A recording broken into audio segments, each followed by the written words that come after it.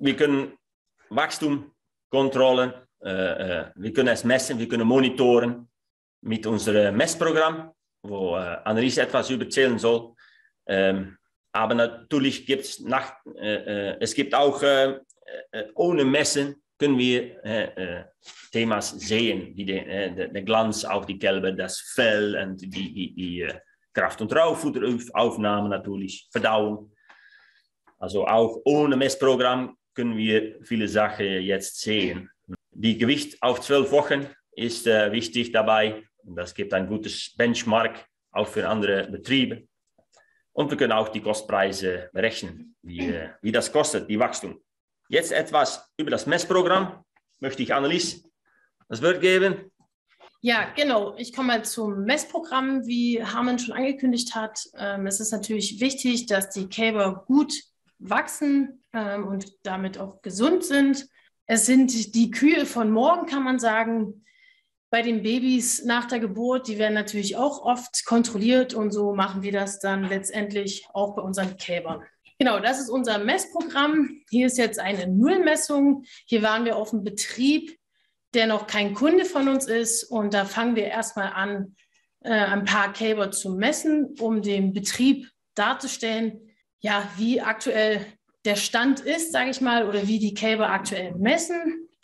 Und da kann man hier vieles herauslesen aus dem Programm, zum Beispiel ja, die ähm, durchschnittlichen Tageszunahmen. Hier kann man sehen, dass hier ähm, im Schnitt die Kälber 827 Gramm wachsen. Und Harmen hatte ja schon erzählt, dass die Kälber auch ähm, ein Kilo wachsen können am Tag. Somit kann man hier sehen, dass der Betrieb hier noch ein bisschen Potenzial nach oben hat. Ähm, der Gewicht ähm, bei den Kälbern an, äh, bei dem, an dem 84. Tag ist hier bei 99 Kilogramm. Und ja, wir wollen natürlich helfen, das noch ein bisschen zu verbessern bzw. zu optimieren. Ja, und dann haben wir hier jetzt so eine schöne Grafik. Man kann auch beim Messen ähm, theoretisch feststellen, äh, ja, das Abkalbealter, der Abkalbemonat. Und hier haben wir ähm, die Kurve haben wir eingestellt bei 23 Monaten. Und hier sehen wir die ganzen Kälber, die wir gemessen haben. Und es sind natürlich noch viele Kälber, die unterhalb der Kurve liegen. Die kalben ähm, somit unter den 23 Monaten ab. Also ja, was weiß ich, bei 24, 25 Monaten oder aufwärts.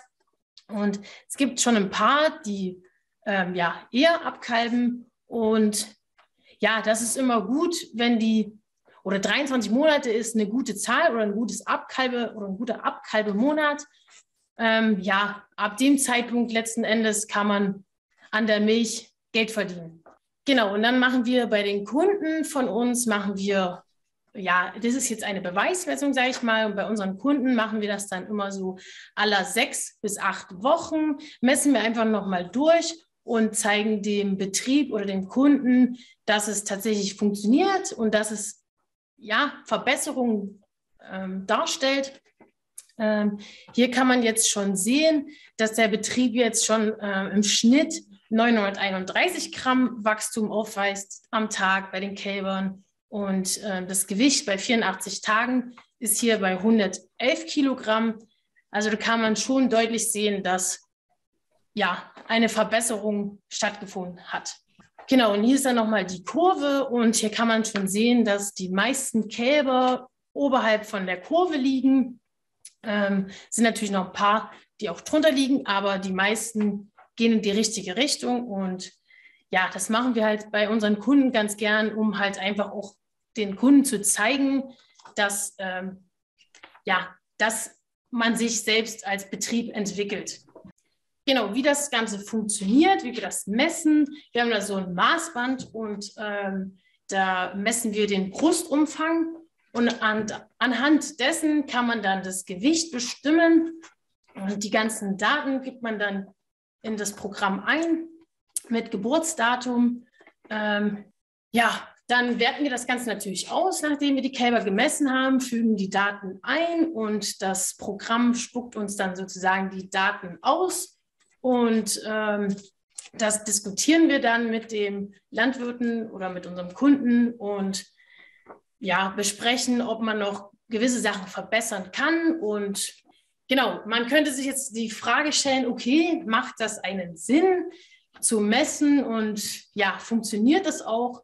Wir haben natürlich jetzt ähm, ganz, ganz viele Daten von Kälbern, die wir gemessen haben. Ich sage jetzt mal schätzungsweise 10.000 Kälber, die wir gemessen haben. Und die Daten haben wir in Holland mal ausgewertet, sind auf den Betrieben zurückgegangen und haben uns mal die Fersen angeschaut von den Kälbern, die wir gemessen hatten. Und da haben wir uns die Milchmenge angeschaut oder die, wie viel Milch die in der ersten oder als Ferse gegeben haben und haben dann tatsächlich festgestellt, dass die Kälber, die am besten gewachsen sind, dass die auch die höchste Milchmenge hatten. Das ist halt sehr interessant gewesen, auch für uns ähm, hat uns unser Konzept letzten Endes nochmal bestätigt und dass ähm, ja, wir damit Gutes tun letzten Endes. Ähm, und ja, also es ist gut und man hat auch später Vorteile, wenn die Kälber gut wachsen und die Entwicklung auch einfach, wie Hermann schon auch gesagt hat, mit der Pansenentwicklung, die Zottenbildung ist natürlich auch sehr wichtig und dass das ja alles letzten Endes ein bisschen einen Sinn hat.